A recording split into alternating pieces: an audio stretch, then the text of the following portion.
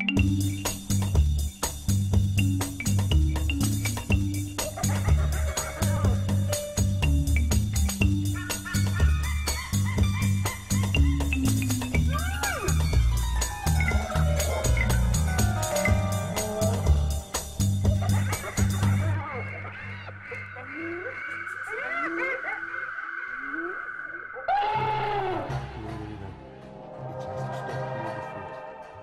to Wim Delvoye's studio. He and his technicians are putting the finishing touches to his new version of cloaca. Cloaca is Latin for toilet. This work of art simulates the human digestive system. You put food in one end, and something else comes out at the bottom. Soon, Cloaca will go on show at a new exhibition about Belgian art but it's not working perfectly yet. We, we tested already the stomach, we, we tested the intestines and the rectum, but we didn't test uh, this, let's say. This is like the brains. What could go wrong? Oh, many, many stuff will go wrong. And in the first weeks, we will have diarrhea. I think the feeding is all right, but the rectum is always the big secret, and that's the most difficult thing because you have to go from a very liquid in the intestines to very uh, solid material in a very uh, small amount of time. This is the third generation cloaca and the first upright model. Previous horizontal versions have been exhibited in America and Europe. The preparatory drawings have been sold for thousands of pounds. There are some series of tiles which have all been snapped up.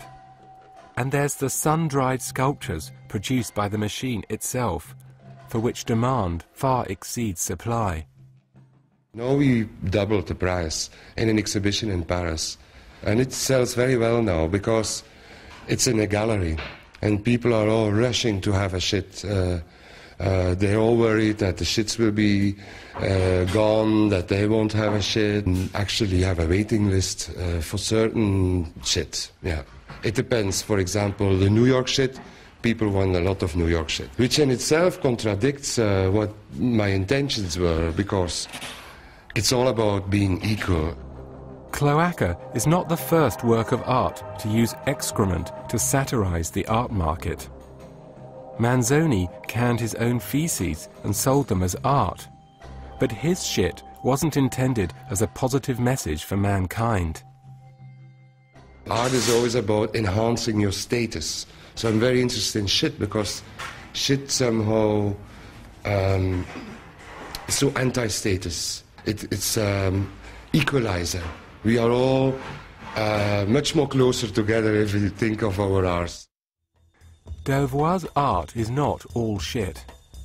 While Cloaca was digesting, Wim took me next door to his storeroom. Other works by him stood around in crates just back from various international exhibitions. But Wim wanted to show me his new series of sculptures. They were luxury carrying cases designed for cheap old mopeds. Are these like special antiques then? No, they just, we, we buy them in the papers. They're like the cheapest um, uh, motorcycles you can find. And it is really like the, the brand who got the most successful with the lower classes, let's say. You end up having a very modernist uh, sculpture if you close it. Like, um, it looks so Hans Arpi, Henry Moorish, huh? Moorish, so, so yeah, smooth and it's very, very heavy. Your hand? I estimate 500 kilograms or 400. Yeah. And this color is, um, this paint is uh, from Mercedes. Mercedes? Yeah, no, it's very sexy. Delvoye had other works of art in preparation around town. We went for a drive in his car, which was as modest as his mopeds. In this workshop, a series of sculptures were being finished by specialized metal cutters for an exhibition in New York.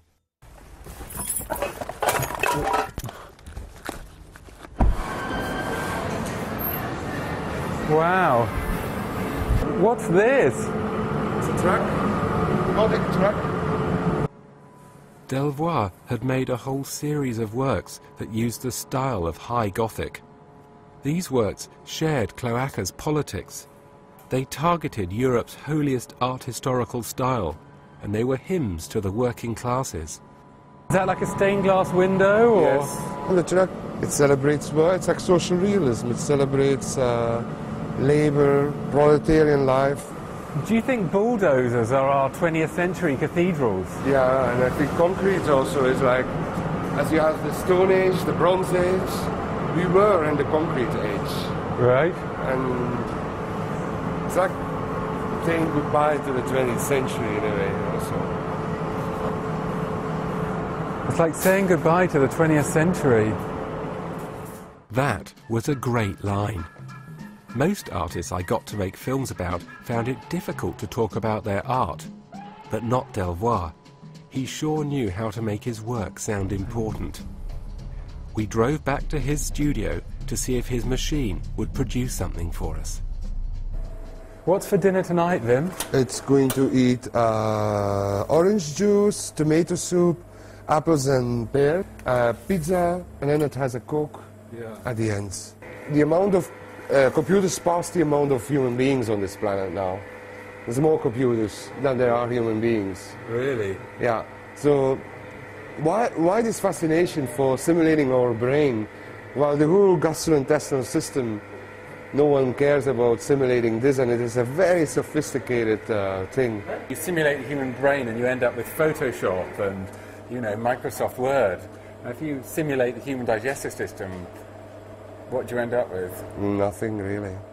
Ah. No. That's why it's so wasteful. You're going to be Bill Gates. You know? I won't be. I liked this work because it was the end game of contemporary art. To me, it was a symbol of how the art world had finally disappeared up its own backside. But for Delvoye, there was something else that was more important than its cynicism, its realism. Are we looking at a representation of the human digestive system, or are we looking at the real human digestive system? Well, um, we are really looking at a human digestive system because we are using human bacteria. So it is the human digestive system. Uh, the whole scenario uh, of, of uh, from mouth to arse is completely uh, um, copied. I left Delvoye's studio with a t-shirt and a pile of books. But this was the kind of material any arts TV presenter would get from artists. I wanted more. Some people in Belgium had much more. Delvoye's most enthusiastic collectors are fellow countrymen who run a global corporation. They have a museum in their headquarters with many of his most famous pieces. In Belgium, Delvoye is admired for his formal innovations in the history of modern art. Once upon a time when Belgians used to make art like that. didn't they? Yeah, yeah, It's all changed. it is. Yeah. So here we're between two uh, works of Wim: the cement mixer with ornaments, and then the gas canisters with. Uh, the Delft blue, the painted uh, Delft blue. Marcel Duchamp, he, he used objets trouvés in, art and with his toilet, eh? but he didn't change the object.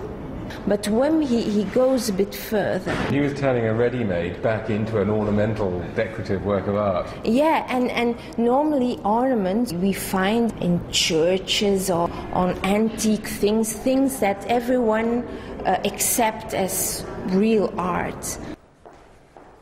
Belgian curators see Delvoye as someone who's understood modern art and then moved it on a stage.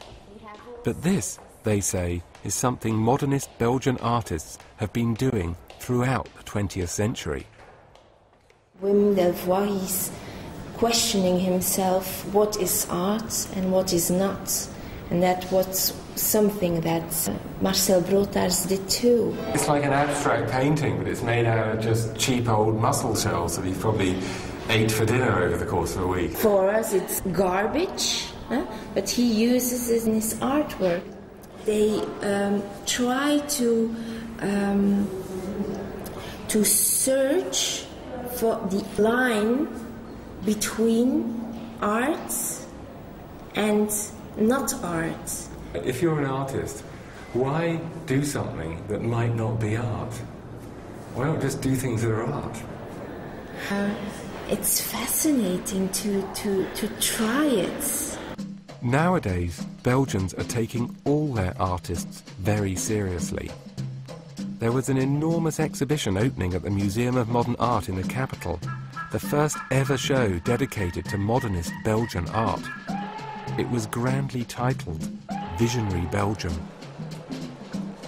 This was an exhibition packed with works of art. There were many visionary Belgians, and Delvoye was one of them. Tucked away in one corridor in this crowded exhibition was an oil by the famous contemporary Belgian painter Luc Tuymans. In another cramped corridor was an early Magritte. But there was one work of art that had a whole room to itself. Delvoye's Cloaca.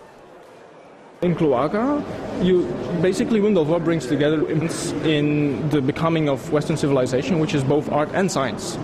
You know, obviously. So you know, the great Renaissance man being Leonardo da Vinci, um, uh, for instance, being the quintessential paradigm of you know the artist scientist, and this is kind of you know here we it's basically Wim Delvoye returning to the fold of like Renaissance man in a way.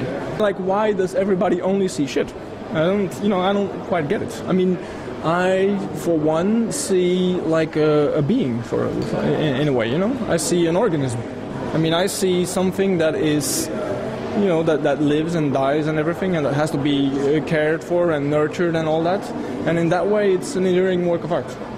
And i don't find the fact that somebody would shit in a museum supremely offensive. I mean there's more offensive things nowadays. Do you think this sculpture is beautiful? Um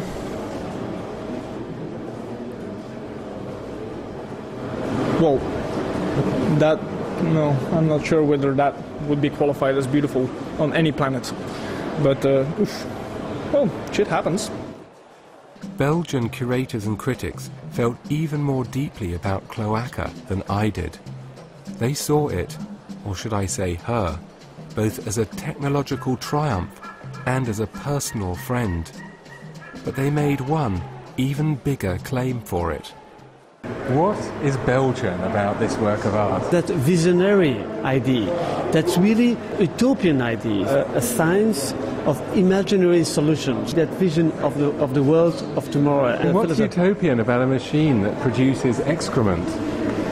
Oh, it's not producing only, only that, it's producing, it's, it's producing what life is producing. Surely a machine that produces excrement is dystopian. No, don't think so. Why? Uh, that's, that's maybe your opinion. I couldn't yet see how Delvoye offered a vision of a better tomorrow, but I still wanted a work. I needed a way of persuading the artist to give me one. I had a dinner date and I had a plan. I made sure I ate exactly the same food as Cloaca. I brought a little dessert then. Ah, good. You know? Oh, Wittamer. That's you know? very famous, yeah. yeah. That's the best chocolate in Belgium. Ah, what a nice sound. I mean, these taste really good, don't yeah, they, yeah, yeah. And very Have expensive. you ever tasted this one? Oh, that's perverse. Well, what, which one is your favourite here then? Ooh, I think this one. We not be biting it not It's so status enhancing oh, to waste so much. Oh, oh, oh, I'm sorry. Belgians admired Delvoye's utopianism, but I was more impressed by his realism. Other artists painted, sculpted, or borrowed real things, or made abstract paintings. But Delvoye made real things if indeed they were as real as the artist claimed. So, um, Wim, have you ever tested the excrement produced by your machine against the excrement produced by a normal human being? Because what I'm worried about is that you might not actually be making shit. You might just be painting shit. Okay. You know, Yeah, like yeah. an artist. It's not only shit, but it's human shit. Can I test that? Would you let me take Okay. away a bit of Okay. your shit? I'd acquired my first Delvoye. It was that easy. And then it was a question of coming back the next day and collecting first one sample. I specially brought this Oh my service God. glass. All right, a couple of big pieces, please, Wim. Okay. Oh, two bits and that's plenty. Oh, Jesus. You get it all. It smells so bad. And now for the second sample. This isn't the sort of thing that um, Robert Hughes or Kenneth Clark had to do when they presented arts programs.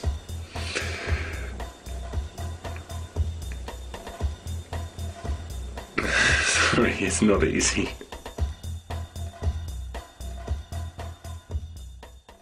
So last week I got your two samples. They arrived on the back of a motorbike, wrapped up and frozen. Uh, what we've done is compare the two samples bacteriologically. How convincing were the two samples? Um, well, surprisingly for me, they were very similar. Um, Really? Certainly within the ranges that we'd expect amongst, you know, different human beings, for example. Do you do you think a turd can be a work of art? Um, personally, I wouldn't hang it on my living room wall. Um, but hey, whatever blows your hair back. I'd obtained my first Wim Delvoye, but my plan was flawed. The work that Delvoye gave me had been destroyed in the laboratory analysis. I'd have to try again. The artist has invited me to see his latest work of art in China. Delvoye doesn't only create machines that act like they're alive, he works with living things as well. He's invited me to visit his art farm, the most real work of art that he's ever made. This one is all with Russian tattoos. The other one is much more like with um, American tattoos. I show you my other pics. So how many pigs have you got exactly on your farm? We got like 24 pigs now on different sizes. But the whole idea was to make a distorted mirror of uh, our society and in the art world. So they are like paintings who grow. People buy a painting and then they expect this painting to get more important, to get more expensive. The, the funny thing is also tattooing is showing a lot of um, vanity and expectations from the human world. So projections we make, dreams we have, like you like Jesus or you like rock and roll. So you want to express that on your body. You want to say, hey, that's me. That's my identity. I believe in that. And then um, you put it on a pic, but all your beliefs, your whole belief system becomes completely ridiculous. On one level, this work of art, like others by Delvoye, is an assault on the values of art. But it's also something else. Normally, pigs are factory farmed and industrially slaughtered for food, but not here. This is the utopia the Belgian curators were referring to. And art saves their lives. So it's like Schindler's List. You know, you go to a pig farm and you get the nice ones out and you put them here, you tattoo them, and all their brothers and cousins are, are eaten away, you know. So you're like a pig Schindler. Yeah. These are the Louis Vuitton pigs. This is Ben. Oh. This is like directly inspired by what I see in Shanghai and Beijing. Louis Vuitton is like this, uh, yeah, the best example of that obsession they have for, for, for designer stuff and status-enhancing uh, accessories. Every Chinese girl uh, dreams of a Louis Vuitton bag. In Delvoye's utopia, the pigs are protected with sunscreen factor 30. There's a special farmhand tasked with keeping the flies off them. Once a week, they are placed under a mild sedative and tattooed. Look what an intimate relationship I have with this pig. Lovely. He's lying on me. He's, he's rolling over me. He has a character, this painting. It's not like another painting who's just dead. It's very difficult. It Looks quite difficult.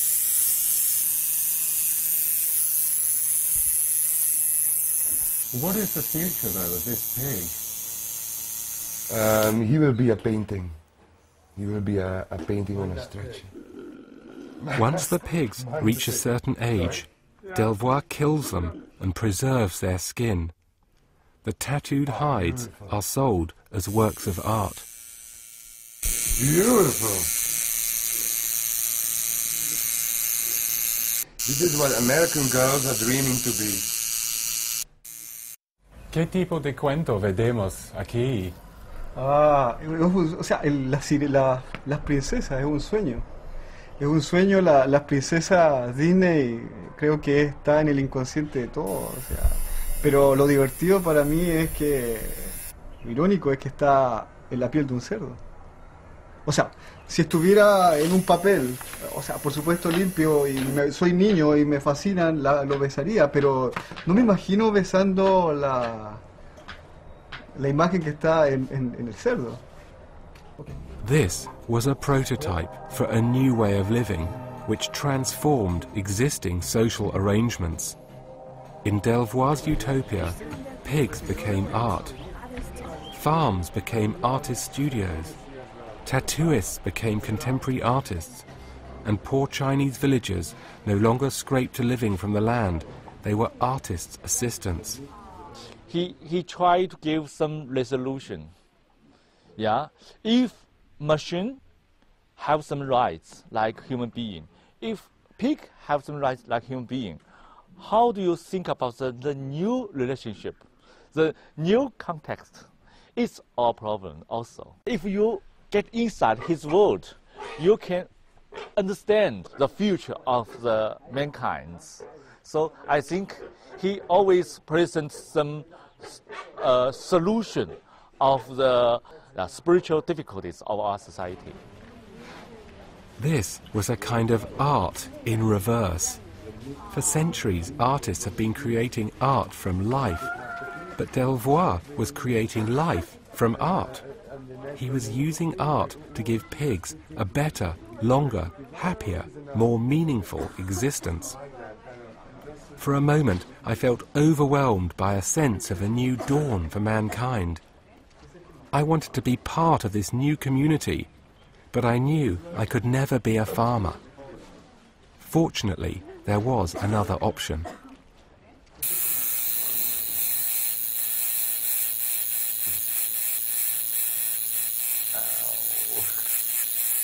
Do you think it matters that I'm Jewish? Ah, I didn't think about that yet. Ah. I mean, here I am, a Jew lying next to a pig, getting a crucifix tattooed on my back. We're testing boundaries. There's a lot of layers, isn't it? Yeah, lots of layers. It's a mouse who's crucified. It's a mouse who dies for all the other mice that they can go to heaven wow. from now on. That's beautiful. it was a rash decision. The art farm is an optimistic project but as the tattooist needle cut into my skin, my optimism drained. I had chosen my tattoo, but my fellow roommate hadn't. Other pigs were killed to satisfy a human need, but Delvoye had created an elite of pigs, killed for human vanity. In Delvoye's art farm, there was as much dark ambiguity as in his other works. Inside the work you can see I could have done another job. I could have done a tattoo studio. Imagine I would have done this seriously in real life. You show you're able to, but there's this social failure built in because it's art. It's only you're able to make an ex, uh, a complicated machine, but then you basically this machine basically only makes shit. So um, you you socially fail with a machine like this, but at least you prove that it's by choice. I returned to London with my original Wim Delvoye. Delvoye regretted the way his critiques of the economics of art were so popular with art collectors. I thought that was a good thing and hoped now that I would make a sound investment in the booming contemporary art market. Wow. Is that permanent? Yeah. It's good, isn't it? It's Mickey Mouse on the cross with Minnie crying, okay? Could you auction my skin? What if I was to auction myself almost as a futures option? When I die, right? Yeah. You can have my skin. How much it at? It's a great idea. I, I, I think that we're quite a traditional co- uh, corporation, and uh, I think um, the idea of, of auctioning a, a, a, a future on a, on a on a dead body is, is not really our our style, if you like. Really? No. Okay, ballpark figure then. How much? Uh, there is no figure I can put on that. It's it's it's a it's a living sculpture, and it depends upon you. You know, you're you're wearing it every day of the week, and it's it's going through its own wear and tear, and there's n- there's no figure you can put on that. No price you can put on that. It's priceless. Do you think it has more value on a pig or more value on me? Uh, I think it has more value on a pig because it is actually a, an object that you can acquire and, Right. and, and, and buy, and it's it's more systematically in the in the sort of tradition of sculpture uh, that you can house in your home. I hadn't yet worked out exactly what my tattoo meant. Perhaps it was a membership card of a new society. Perhaps just another level of satire on the art market. Still, it looked like I'd have plenty of time to work that one out. Delvoye's tattooed pigs have made tens of thousands of dollars at auction, but I was apparently worthless. Unless, of course, any imaginative art collectors have been watching this television program.